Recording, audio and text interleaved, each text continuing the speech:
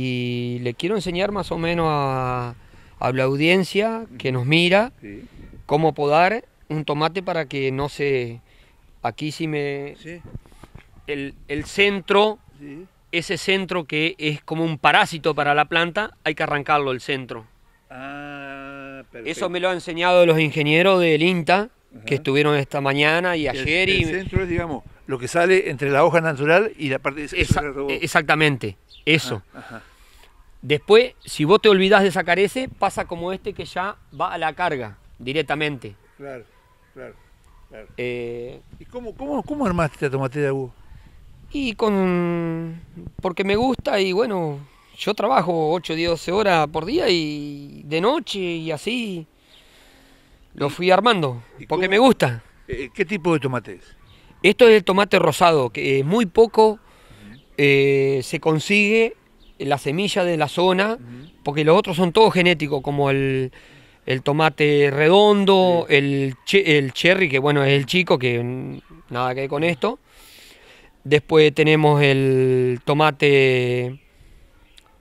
ah, el común, que es el, el colorado. Y este es rosado. Este es rosado. ¿Y cómo, cómo llegaste, Hugo, a, a conseguir semilla? Porque tiene su historia del Sí. rosado. Eh, de este tomate conseguí semilla de, de un amigo que desgraciadamente falleció, de Pipo Viola. Me dio un tomate de 8, 800 gramos pesaba. Me dice, porque a mí me dicen Pijilla, dice, Pijilla, cuida esa semilla porque ahí te va a dar fruto. Y bueno, todos los años voy cuidando semilla y voy produciendo. Y ahora le iba a mostrar de vuelta Sí. cómo se poda Ahí. Otra. ahí, otra. Acá tenemos otra planta, ¿cómo se poda? Esa es un parásito. Eso hay que sacarlo. La del medio es un parásito ¿Hay que para la planta. o cortarlo, Hugo? Eh, ¿Arrancarlo si no? eh, es quebrarlo, se quiebra fácilmente. Se quiebra fácilmente. Ahora, Hugo, eh, ¿cuántas plantas tenés acá? Acá hay 94, porque tengo tres plantón, tres plantas, tres hileras de 24 y una de 22. Ahora, lo más interesante, eh, ¿esto qué te reditúa? Satisfacción para mí. Como está encargada. Yo vengo y te digo, Hugo, dame tomate, tengo un asado, y vos regalás. Sí, ¿cómo que no? Y voy a hacer ají también, morrones, no tengo drama, yo no, no vivo de esto. Claro. es una satisfacción, Es una especie, un hobby. sí, pero lo hago un hobby después del laburo. Pero me gusta. Y esto es un terreno que me lo cedió la vecina porque siempre Claro. cada 15, 20 días me pedía que le corte el pasto. Le digo, ¿sabe qué pasa? Le digo, vamos a hacer una quinta. Le digo, Claro. Porque yo tengo allí, como tengo taller y tengo todo churrasquera al fondo, mi mujer tiene planta también y bueno. Hugo, y, y- el armado, digamos, de la, la tomatera con las cañas es espectacular, ¿eh? Eh, lo hice yo. Bien Le- fuerte, ¿eh? la, la fui a buscar, sí.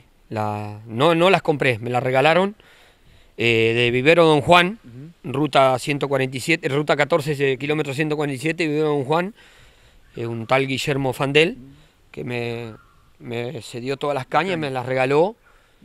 Estoy muy agradecido Esto, y esto cada cuánto lleva riego? eh, yo le doy más o menos 20 minutos a la mañana y 20 minutos a la noche, porque está con riego a goteo. Claro, agoteo. Está riego goteo, se ve que Y anoche me olvidé porque un poquito más y por eso está media un poquito pasada, pero O sea que el día que esto esté cargado, sí, vos el tomate lo regalás. sí, lo regalo. Bueno, ahí tenés. Este, Lo Hugo, regalo, no lo vendo. está bien, lo regalás, no lo vendés. Y acá, de este otro lado, que tenemos? Esto es morrón, Morrón. esto es morrón. Morrón. Esto es morrón, acelga. Y acá va una hilera de ají banana dulzón para hacer picle y cuando tenemos algún asadito con los amigos Es bueno. abrimos un frasco y lo compartimos entre todos. Todo esto es por hobby. Eh, es un hobby que tengo. No es, no es este comercial. O sea, que esto es la tomatera de Hugo en Barrio Lombú. Sí. Aria Pijilla. Aria- el Pijilla Burlote. Mucha- Esta planta grande Sí. que usted ve, Sí, de esto, sí. de esto acá, esta planta grande de acelga, es del año pasado. Me brotó acá y ahora cuando va a florecer, la envuelvo, Sí, la envuelvo en una bolsa sí. y dejo que caiga la semilla y cuido para el año que viene. Ah, ahí está. Yo Igual con los, con los- con los- con los pájaros. Sí, produzco la, produzco la semilla, igual que el perejil, todo eso.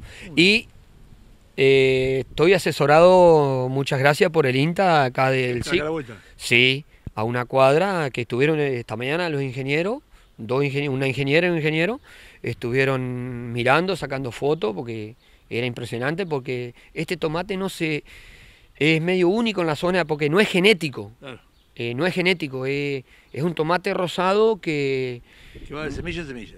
de va de semilla en semilla, no, no se produce, eh, esto no tiene químico, no tiene nada, El agua nomás tiene. es solamente el agua, exactamente, el agua solamente tiene. Amigo, mucha, mucha suerte y gracias por recibirnos. Gracias. Lo, lo voy a visitar cuando tengas tomates. Sí, como que no. Si me deja el teléfono, venga a buscar.